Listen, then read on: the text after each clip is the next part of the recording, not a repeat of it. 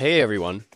Hope you're having a great day. Do you have a bunch of unwanted files on your computer taking up valuable space? And you have no idea what or where they are? It's time to take back your hard drive with the help of a powerful tool called NCDU. This program allows you to easily see which files and folders are taking up the most space on your computer, so you can delete what you no longer need and free up space. NCDU works by showing you a detailed view of your file system, sorted by size, so you can easily see which files are taking up the most space. With NCDU, you have the power to take control of your file system and regain valuable storage space. So why not give it a try today and see how much space you can save. To help me show you how powerful NCDU is, I created a folder with five subfolders, each containing a mix of subfolders and files of varying sizes. Checking them manually would take a long time. Subfolders and files have random size, so just checking each one by one would take lots of time. Just imagine going through all these folders one by one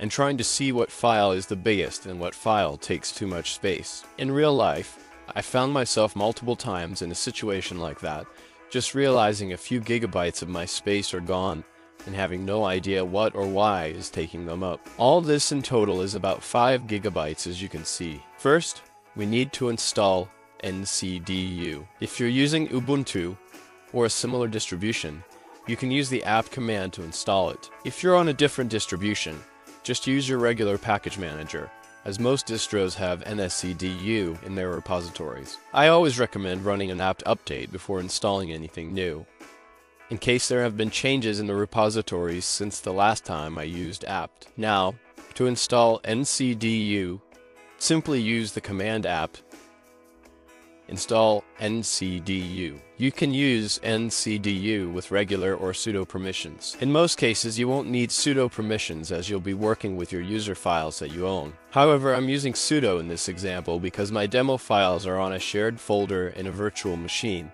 so I don't have access to them as a regular user. This is just a quick explanation for my specific situation. If you use sudo with this tool, as with any other, you can delete almost anything and potentially damage your system, so be careful not to use it with sudo if you're unsure about what you're doing. The same caution applies to using any command with sudo. This tool is really simple to use. Folder in the terminal represent this folder here. The first parameter here is the size of the folder, which is 4.7 gigabytes. Next, we have a graphical representation of the folder size.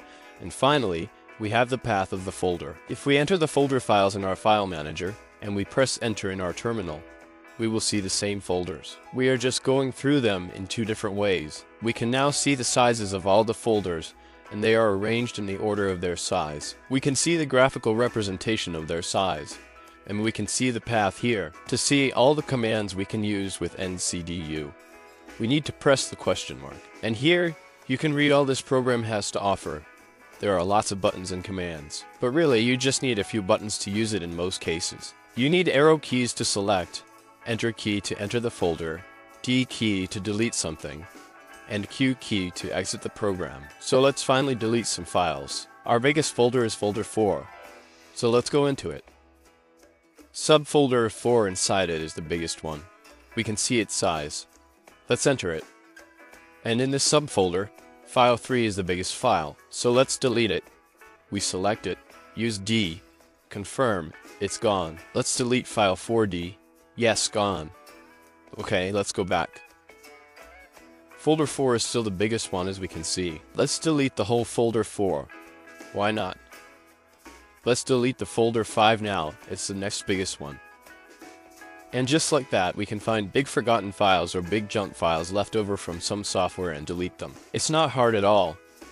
Let's make our next example a bit more realistic. We can go and see what's taking up space in my home folder. Of course, I don't need sudo for my home folder because I own everything inside it. Tilde is a terminal shortcut to the path of the current user's home folder, so my home folder. And here we see what takes up space in my home folder. As we can see, most space is taken up by the cache folder. And it's Mozilla Firefox cache that makes sense.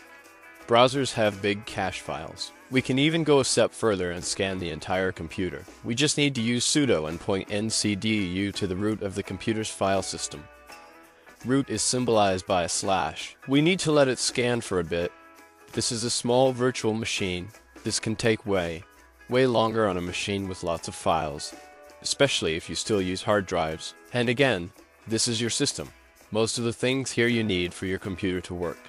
If you are not sure what you are doing, and I mean really, really sure, don't delete anything, as it can and will break your Linux install. As we can see here, this is taking almost all the space, and that's our libraries. We can't delete that because it will mess up our computer. But as you can see, everything on your computer is visible, and it's clearly shown how much space it takes. And finally, to get out of NCDU, we just need to press Q and we are out. So that's all you need to know to start using NCDU to save up some space. Just remember what you delete, it's gone, you can't get it back.